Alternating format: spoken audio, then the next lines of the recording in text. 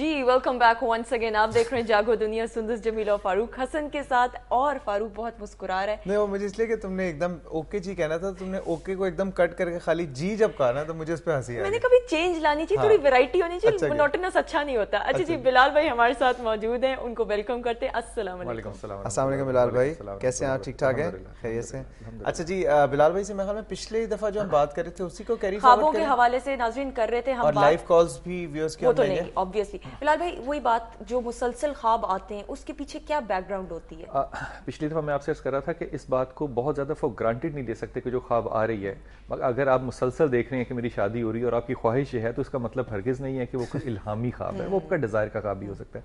लेकिन having set that ख्वाब को सुनने का जो एक तरीक़ाकार है ये रसूल पाक वसल्लम के ज़माने से राइज है। आप सहाबा से पूछा करते थे कि रात को किसी को अच्छा ख्वाब आया हो तो वो सुनाए और फिर उसकी ताबीर हुआ करती थी लेकिन ये जो इल्म है बताने का ये मैं सिर्फ़ इसलिए कह रहा हूँ कि ये मामला बड़ा एक मोतबर किस्म का है इसको हमें बहुत ज़्यादा हल्का नहीं कर देना चाहिए कि हम इंटरप्रिटेशन जो हैं वो बिला वजह की आ, अपने। बगैर इल्म के हम देते चले जाएँ। मिसाल के तौर पे अगर आप देखिए तो हज़रत उमर जो है वो खुतबा दे रहे हैं और ईरान के ऊपर साद अभी वकास जो हैं। वो जंग के लिए गए थे तो आपने खुतबे को रोक के कहा कि सारिया पीछे देखो पहाड़ के। वो ख्वाब नहीं है लेकिन बात सच है। हम्म। तो ख्वाब तो इससे भी बेहतर आपको इल्हाम दे सकती है। हम्म। जैसे कि नूरुद्दीन जंगी का अगर वाक्य ले हम्म। तो नूरुद्दीन जंगी जो है ये सेकेंड क्रूसेड वॉर का हीरो है। और इस वॉर के दरमियान ये दमिश्क में है। तो ये मुसलसल ख्वाब में देखते हैं कि इनको बताया जा रहा है कि रसूल पाक सल्लल्लाहु अलैहि वसल्लम जो जो रोज़ा मुबारक है उसमें कोई लोग इंट्रूड कर रहे हैं।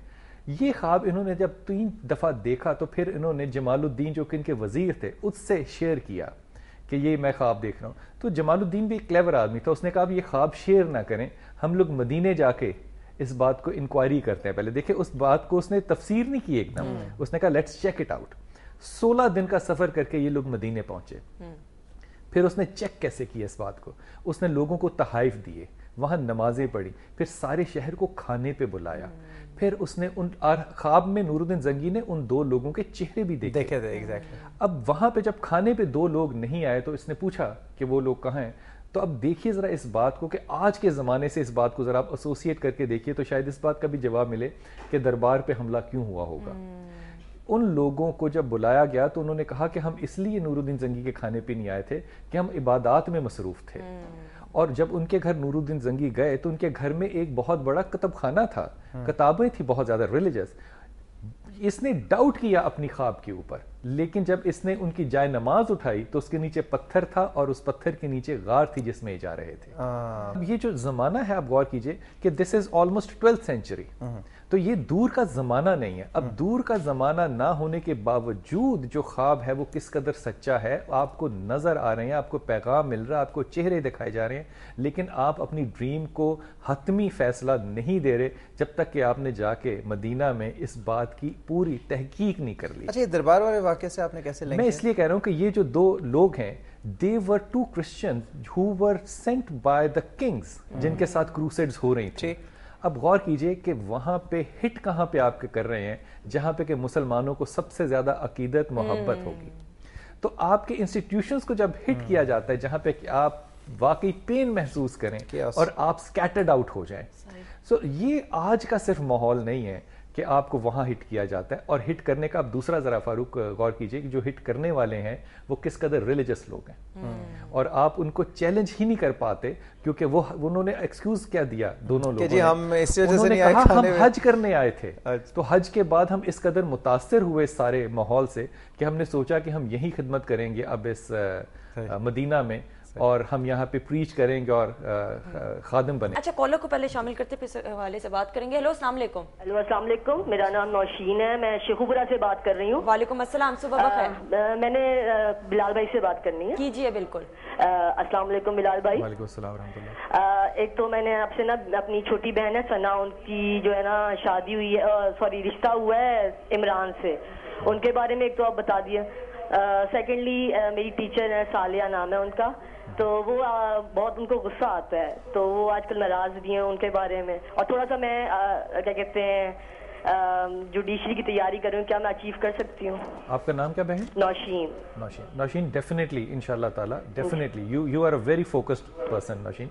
जी थैंक यू और इंशाल्लाह ताला आप इस बात के ऊपर कायम रहो और सिर्फ़ एक अल्लाह की रहमत और बरकत के लिए यह सिलसिला करो कि या जल जलाल वल इकराम या सलाम या मोमिन जी। और या या रहमान या रहीम या करीम। जी ठीक ये है तीन तस्बीहात पढ़ो अल्लाह बहुत कामयाबी नसीब करेगा। इंशाल्लाह जहाँ तक मामला है बहन का I think it's an excellent relationship अच्छा। एक्सलेंट रिलेशनशिप सिर्फ़ इस बात का एहतियात करना कि दोनों जो ये कपल हैं इन दोनों के मजाज जो हैं वो रोमांटिक भी हैं और अग्रेसिव भी हैं। अच्छा। इसलिए इनके मामलात में मेरी ये दरख्वास्त होगी कि कभी भी इंटरवीन ना करना क्योंकि एक दिन लड़ेंगे और अगले दिन ये मरी चले जाएँगे। अच्छा। तो उसमें इंटरवीन करने की ज़रूरत ही नहीं अच्छा और मैं सालिया के बारे में बता ये खात जो आपकी टीचर हैं ये बुनियादी तौर पे इनके अंदर दो मसाइल हैं। एक तो चिड़चिड़ेपन की वजह से ना ये सालिया अपना पेट खराब करेंगी। अच्छा। दूसरी बात ये कि रोमांटिसिज्म में अचीव करना चाहती हैं लेकिन कभी शेयर नहीं करेंगी इस बात को।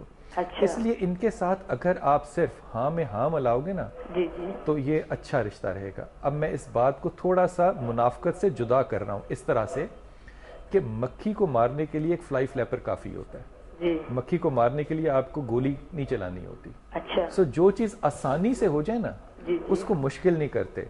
जी, लोग मजाज परस्त होते हैं उनके साथ सिर्फ़ आप एक तारीफी जुमला भी कह दें तो वही काफ़ी तो वो बहुत ज़्यादा होता है। ठीक? सिर्फ़ इतनी सी गुंजाइश होगी इनके लिए और कुछ भी नहीं। अगर आपकी ये टीचर जो है वो अगर तस्बीह पढ़ना चाहे तो इनको या वली या नसीर और या सलाम या मोमिन या अल्लाह। Thank you too thank you so much Bilal भाई। आपका भी बहुत बहुत शुक्रिया। बहुत शुक्रिया। इंशाल्लाह अब आपसे मुलाकात होगी मंडे को। इंशाल्लाह ताला बिल्कुल। थैंक यू जी। अच्छा जी नाजिन ब्रेक की तरफ़ बढ़ना। है। लेकिन लेकिन लेकिन आपको ये बताते चलें कि ब्रेक के बाद मौजूद होंगे।